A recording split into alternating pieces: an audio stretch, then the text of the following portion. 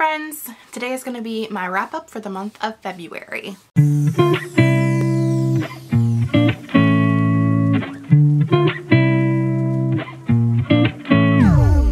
In the month of February I read 16 books for a total of 5,769 pages. Traditionally February is always my highest reading month. I don't know if it's because I feel like I don't have as many days to read so I want to get in as many as possible and then it just ends up exponentially growing more than I expected. Um, but February does tend to be a high reading month for me so I wasn't super surprised by that but 16 is still a lot of books especially since I also DNF'd a book at 51%. So let's get into that first, shall we? First, we will talk about our DNF, which was Circe by Madeline Miller. This book is about the goddess Circe, who I believe is actually the daughter of a titan, and it follows her life story um, dealing with all of the different people that she came across in Greek mythology. And I feel like for me, being someone who has always been into Greek mythology and knows their fair share of Greek mythology, I just felt like this wasn't really anything that, I don't know, it just wasn't really anything new for me, which is fine, but it's also very dry. And I think the dryness is what kind of killed this for me. I know that there are people that absolutely love this book and that's absolutely fine. It just didn't work for me and that's okay. I then had a reread this month as well, which is my fifth reread, possibly my sixth, but I think only the fifth and it is one of my all-time favorite books and that is A Semi-Definitive List of Worst Nightmares by Krystal Sutherland. This book follows Esther Solar and her brother Eugene and they are part of this family where everyone has one great fear in their life. Their grandfather was afraid of water, their father is agoraphobe and he is trapped in the basement, their mother is afraid of bad luck and has a gambling addiction, her brother Eugene is afraid of the dark or more accurately the things that are in the dark that are coming after him in the dark and I believe they had a cousin that was afraid of bees who ended up falling off a cliff to his death trying to avoid a swarm of bees. Um, there was uh, there there's a lot of people in their family that have these great fears. And the family believes that these great fears have originated from their grandfather having met death in Vietnam. Vietnam War, that sounds right. This book is a contemporary with just a little sprinkle of magic in it because the Grim Reaper, to an extent, death, is a real character, to an extent. Um, it, it's really up to you to decide if he's a real character or not. Or not. Um, there's, you know, things put in that kind of make you believe that it could be real, but also Maybe he's just a guy. We don't really know. It's never anything expressly proven one way or the other. And I really love that about this book. Esther does not have her one great fear. She has a semi-definitive list of worst nightmares, which is the list that she writes down everything that she could be afraid of and therefore she should avoid. This book starts off with Esther meeting Jonah Smallwood, who is someone that she went to school with when she was younger in elementary. And he left her in the lurch on Valentine's Day. She had a crush on him. He was supposed to be her Valentine and he just never came back to school.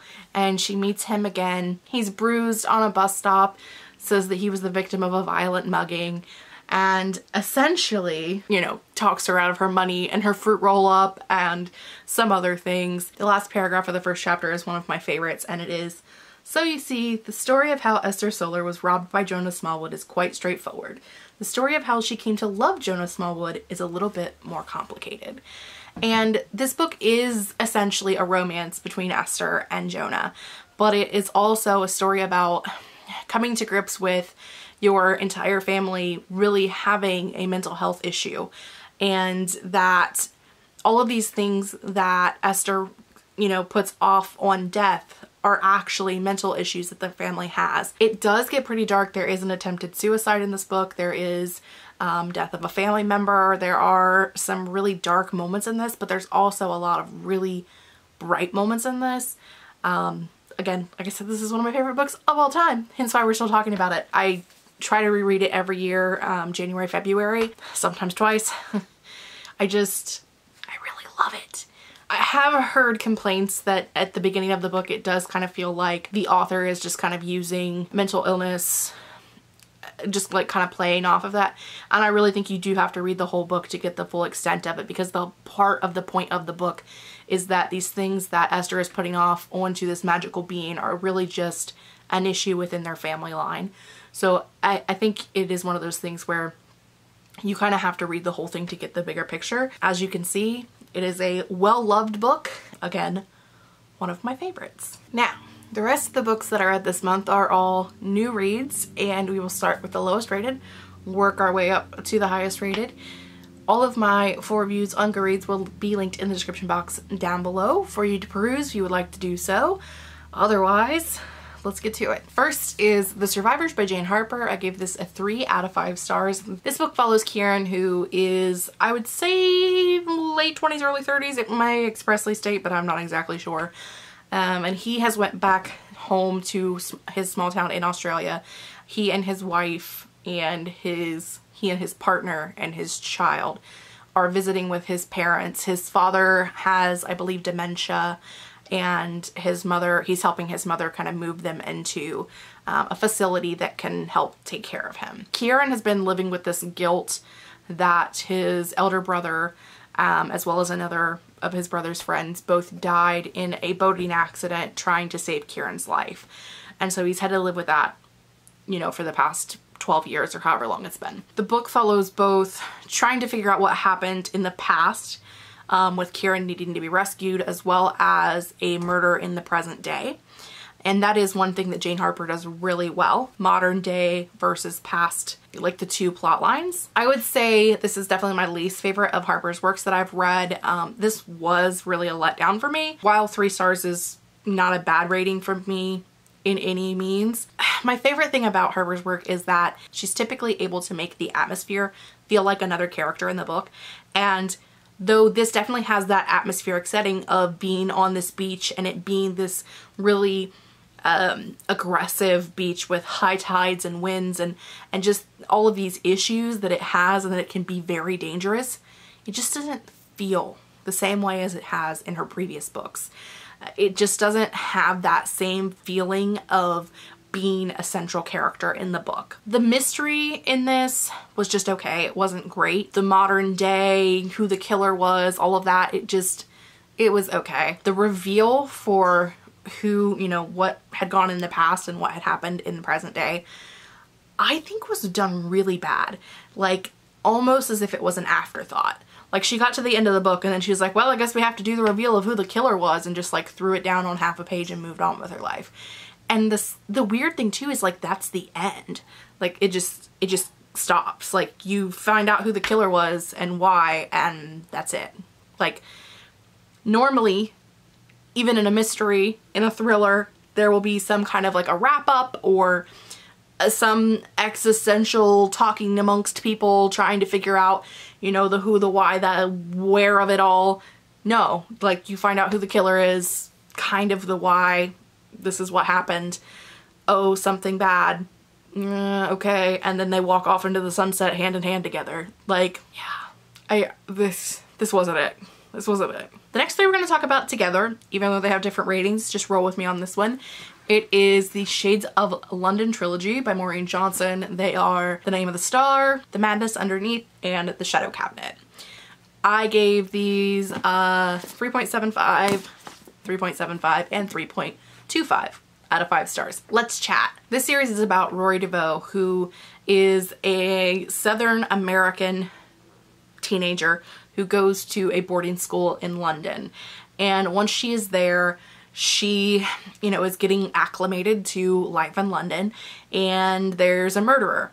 And this murder has been seen on video. Scratch that. They've not been seen on video. The death is there, but the murderer isn't there. And come to find out that uh, actually Rory can see ghosts. And it's possible that ghosts are the perpetrators behind these murders that are happening. And this series follows Rory trying to figure out, you know, how she can see ghosts, why she can see ghosts, what the ghosts want from her, if they want anything at all. and actually involves at some point a cult, um, some secret government organizations. There's a lot of things going on and I enjoyed it. I liked learning about the shades, which is what they which is what they call the ghosts, how they get to be a shade and and why and what you can do about it. I did like the mystery of the first book and trying to figure out why the killer was killing people. That was interesting. Um, it all felt very early 2000s YA, which is a valid life choice, but not my most favorite thing to read. So that's kind of why, especially the third book was like a 3.25. Still, again, great ratings from me. But, you know, the first book, she kind of starts off describing herself in a mirror. I mean, quintessential early 2000s, which these are written in the 2010s. So little behind the times, but fine. I did really enjoy my overall reading experience of these three books. I mean, I read them fairly quickly, um, so I was enjoying my time. I do feel like the plot development could have moved forward a little bit better and there could have been some tightening of the plot. I did enjoy the characters. I liked how they all worked together. Um, there is supposed to be a fourth book, so I know I said the Shades of London trilogy. It's not a trilogy, I was just holding three books. Um, it's a four book series, but the fourth book has not been published, and it's been about six years since the third book came out. So looking through some of the comments on Goodreads, it appears that in late 2020 someone did ask Maureen if she is continue planning to continue the series and she said that it is coming but she doesn't know when. And part of me wonders if the plots just being all over the place is part of the reason why she's struggling to get it out. I know that there are other series that she's done, like the Truly Devious series, um, went from being a trilogy to now there's a fourth book. Um, I know that she was publishing that. There are some other things that she's published in the meantime, so I I don't know if um, if it's just because she's busy on other things or if she's struggling getting it all wrapped up because of how all over the place this is. Um, but I would be interested in reading the fourth book if and when it does come out. Similarly, I also read Asylum and Sanctum by Madeline Roux. These are books one and two of the Asylum trilogy. I gave these a 3 and a 3.5 out of 5 stars. I have read the third book, but that's going to be for March. This series follows Dan Crawford, who is a 16-year-old going to like this summer college campus thing where you can learn more things and get, you know, to partake in the college experience before college uh, to help you decide, you know, what level of profession you want to go into, yada, yada, yada. And once he gets there, he meets Abby, who is a girl that he has a crush on, and Jordan, who is her gay friend that she met on the way there. And these three create a trio that are just kind of like snooping around, seeing what's going on, trying to have a fun time. They are also all highly intelligent. There is kind of a ghost story of this college campus that they're in, actually used to be an asylum, and they find the basements where all of the things from the asylum have been kept. And Dan starts hearing voices, starts uh, hearing things, begins to just get like really creepy feelings, things are happening to him. And the book series just kind of follows him trying to figure out what's going on. This is a found photo type book if you are familiar with probably the more popular Miss Peregrine's Home for Peculiar Children. Um, the thing is, is that I really don't like the found photos in these. I think they're very childish. I don't like the way they're done. Um, they just don't, I, I'm just, I don't, I didn't like them. They're not visually pleasing in any way. Just not my taste. Um, the book series overall, the books overall, are very creepy. I did love like that creep factor. They're very spooky. So that part of it I did enjoy. And I did like how the characters progress. I liked book two more um, because of the way that it explained what happened in book one as well as what happened in book two. Book one leaves you with some questions. Book two leaves you with some questions too, but it gave you some answers from what happened in book one. And I definitely felt more comfortable with what had happened. I don't know that if I had been reading them as they had been published that I would have felt fulfilled after book one. I definitely would have been like, all right, this feels like part of a story. And I feel like reading both of these together definitely felt more like an overall full story. I did enjoy them, as I said, a 3 and a 3.5. I did continue on to read the third book in the series, and we'll talk about that one after March. We then have The Devouring Gray by Christine Lynn Herman. I gave this a 3.75 out of 5 stars. This book is set in a small town where there are four founding families who all have this magic and they use that magic to protect the villagers from this monster that lives in the gray. One of the founding families has kind of moved away and has been gone for several decades supposedly and this book starts off at that fourth family moving back home and just kind of everything that you know tussles up after the fact. I had an amazing reading experience with this book. Like it's one of those books where I had a great time reading it but the characters and the plot were just okay. There wasn't anything like stand out, fantastic. It didn't blow me away. It was just okay, but I enjoyed my time reading it. And that's why I rate the way that I do. That's why I have a rating scale because this book probably would have rated a lot lower had I not enjoyed it so much. I think this could have benefited more from world, more world building and a bigger magic system or just a better explained magic system. We'll talk about the second book here in a little bit. I did enjoy the atmosphere and I did have a really good time reading it. I, I did feel like the characters just could have been a little better fleshed out. I don't know where I was at with that because Nana came in with the dogs so uh, we'll just start with the next book. I then read The Little Prince by Antoine de Saint-Exupéry by a French dude. I gave this a 4 out of 5 stars. It is a very short book, debatably a children's book, debatably a classic. Follows a man who encounters a little prince and the little prince tells him about his journeys around the universe. I listened to the full cast audiobook that's narrated by Richard Gere and I really enjoyed it. I think it was done very well. Um, I liked the humor and the heart of this book. I enjoyed how the little prince thinks about adults and he thinks that like adults are just all a bunch of sticks in the mud and um, it's sad at the end and uh, I, I did really enjoy it. Um, I needed something for my Avengers Initiative reading challenge that was a translated work and I picked this up at a library sale a really long time ago. I decided to read this. We then have House of Leaves by Mark Z. Danielewski. I gave this a 4 out of 5 stars. This book, well first off it's a behemoth. This is a weapon. As J.D. Reid says, a weapon of a book.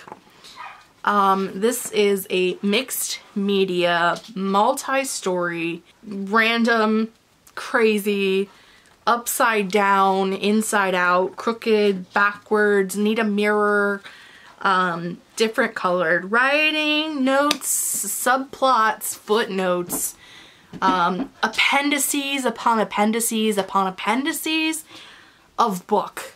It is 700 pages of crazy. The main story is a haunted house story, essentially.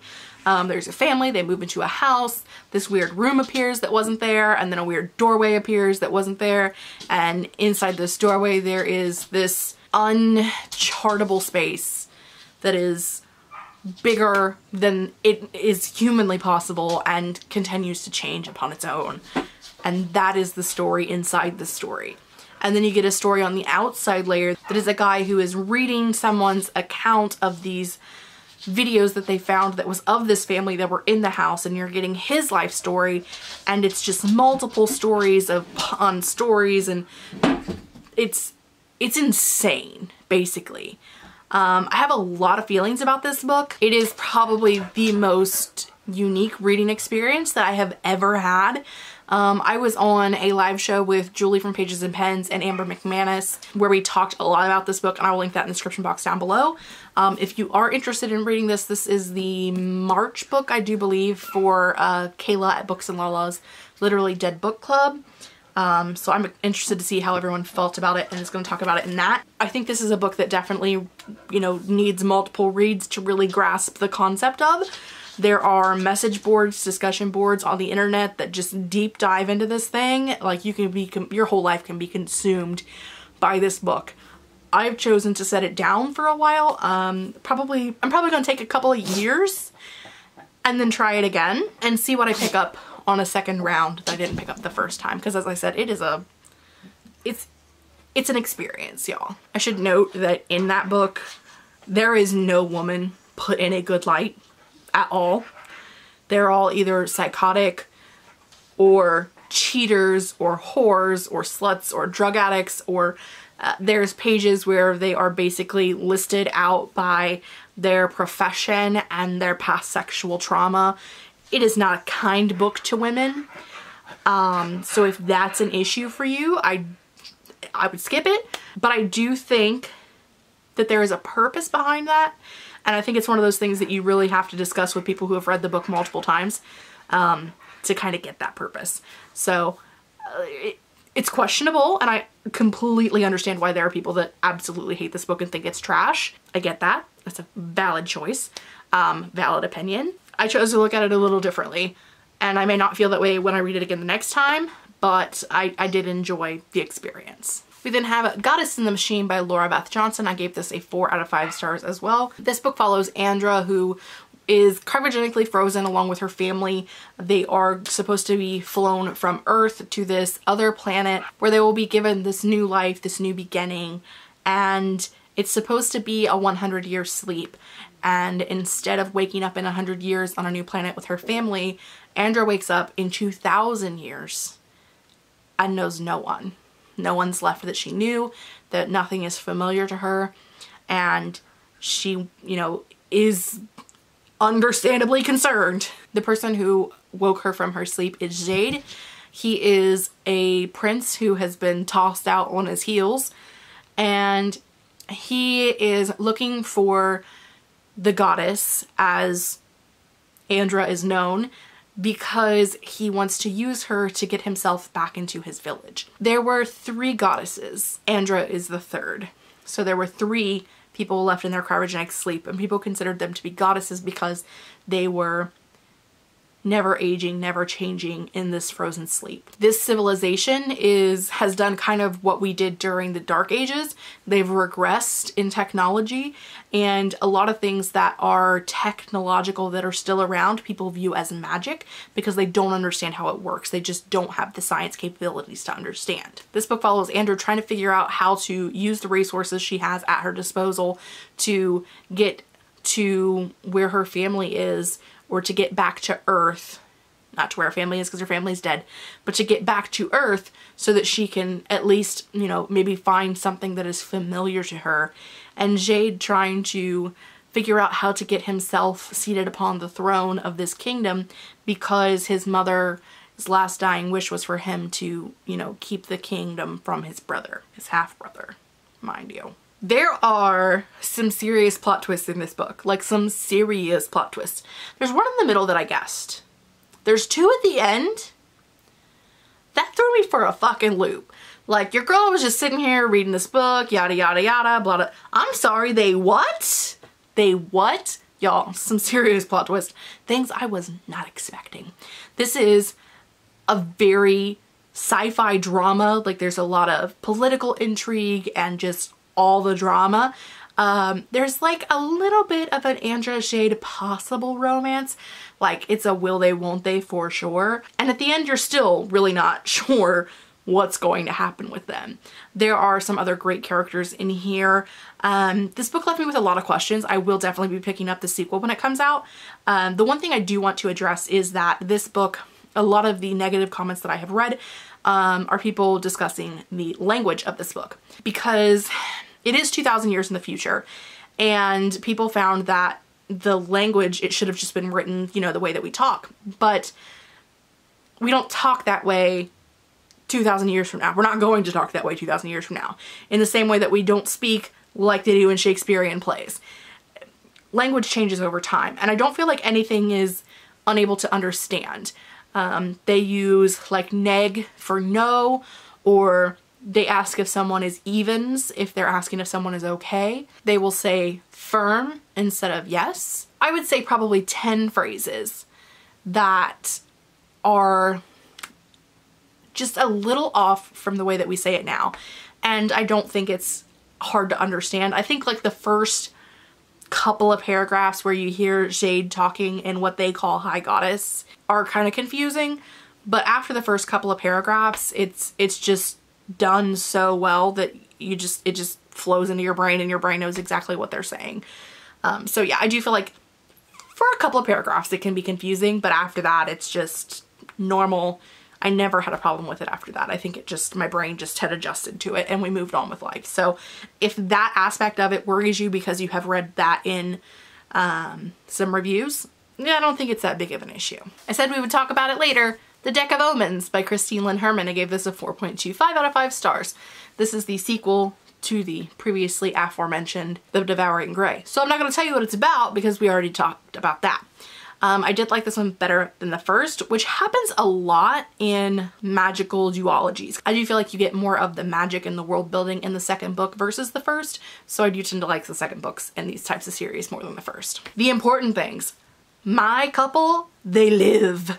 Not just like they're alive, but also as a couple, they live. I love how they talk about each other, how um, they discuss like they've both made changes, they've both changed together and separately and they've kind of made it so that they have made space in their life for each other.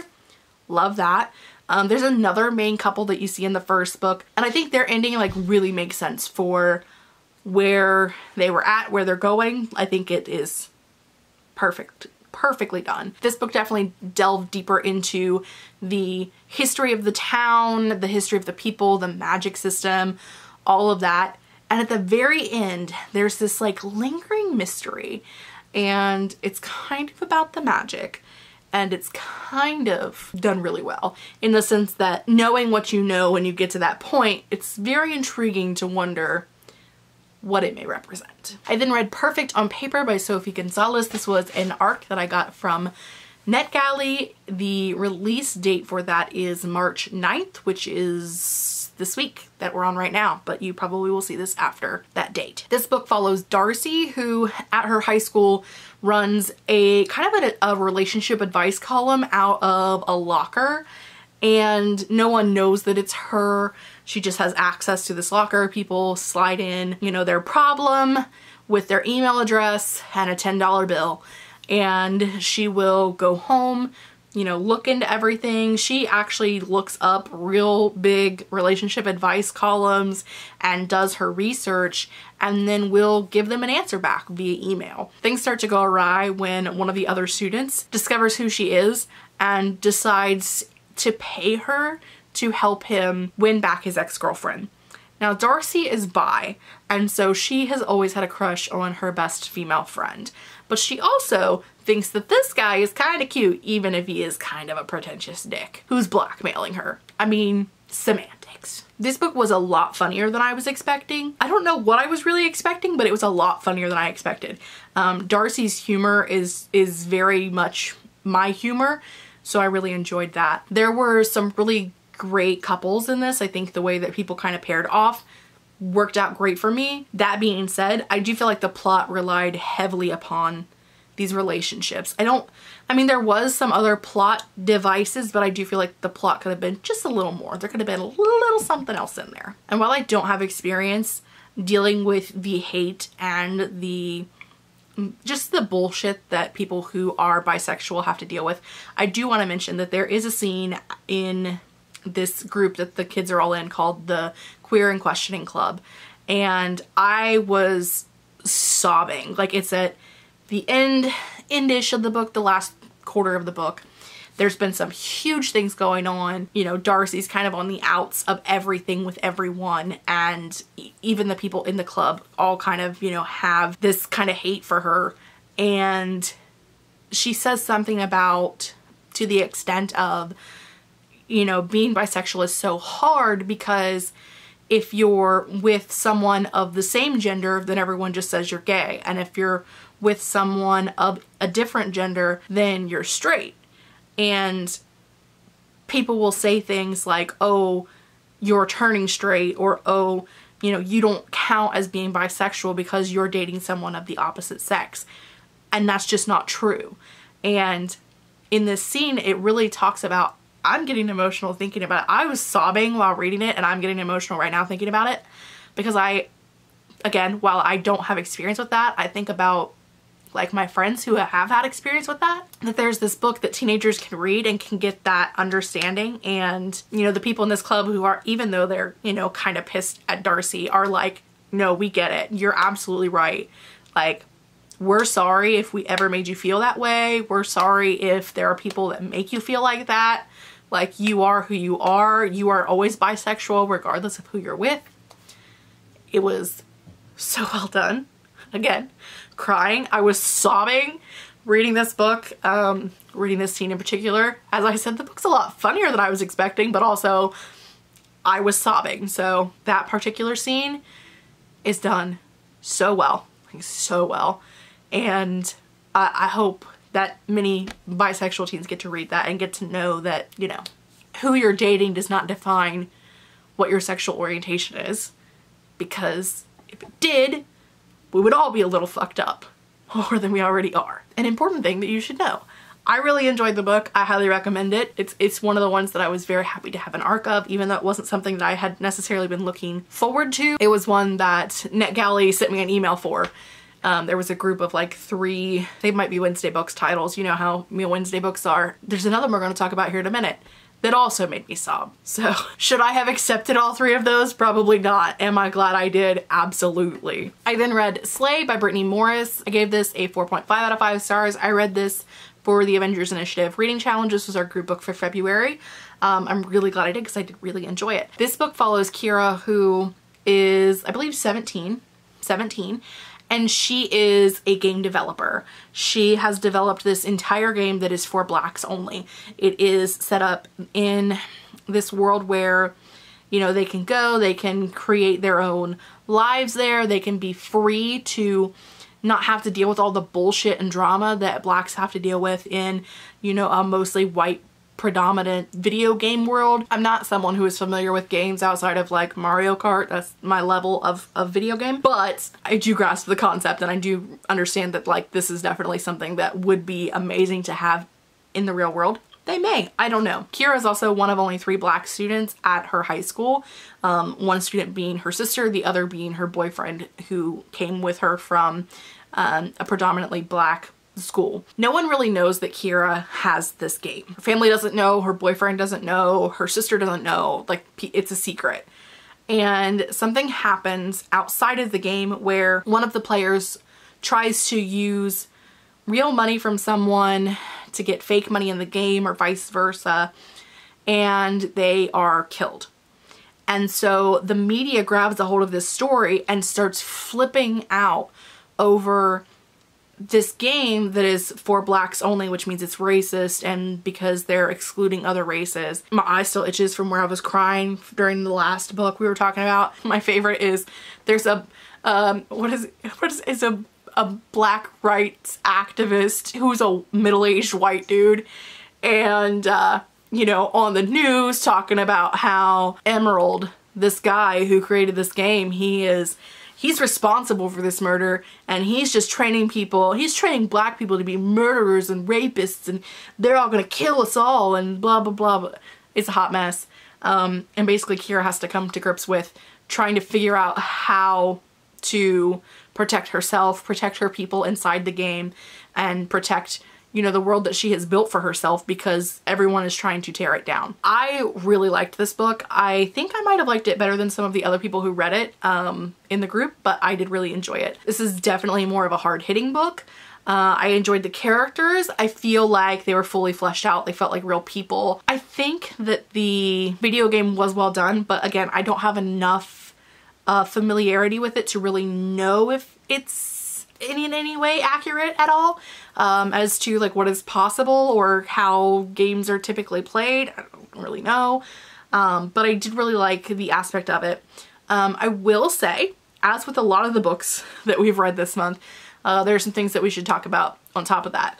Um, Kiera's relationship is not the best relationship. It's not a healthy relationship. You kind of learn that throughout the book. So just like to keep that in mind if you are reading it. There are some things that happen between her and her boyfriend that are not healthy. Mostly gaslighting and just um, he's a misogynist and there's that. So just know that that's there going in so that you're aware of it. There are again, some really great characters in this.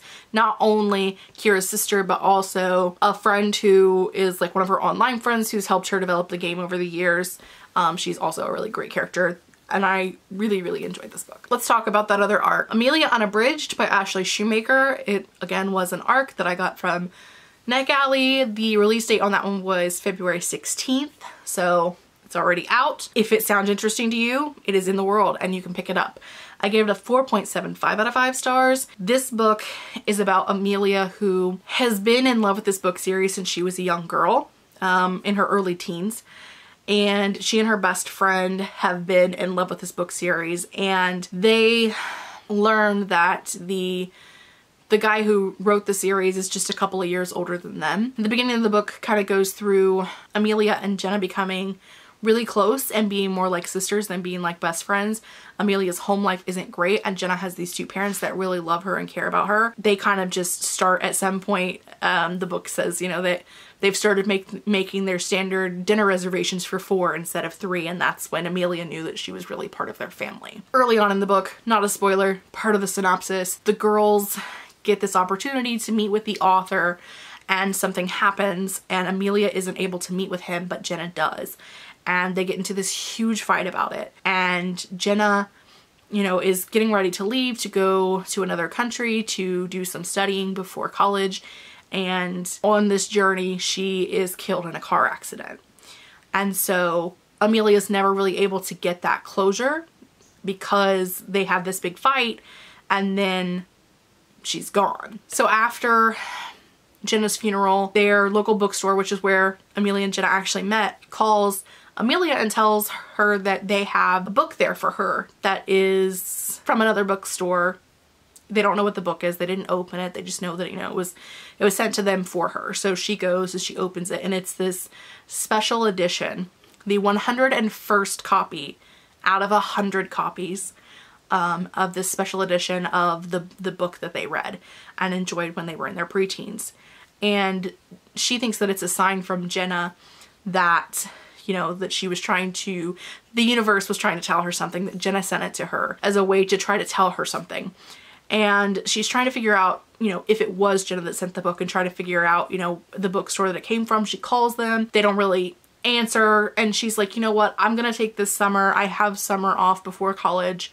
Um, I'm gonna drive to this city and go to that bookstore and see if I can figure out who was there. When she gets there, she does end up meeting the author of the book and things happen. This book hurt in the absolute best ways. Like so good. It deals with so much grief, loss of a loved one, trying to figure out how to go on without a loved one in more cases than one. I cried a lot during reading this book, a lot during reading this book. You find out that Nolan, who is the author, is kind of writing through his own grief, through his own pain, through his own issues, which I'm not gonna tell you what they are because that would be a spoiler. Being a writer who has lost a best friend and used writing to deal with that grief this book was particularly hard to read, but so wonderful.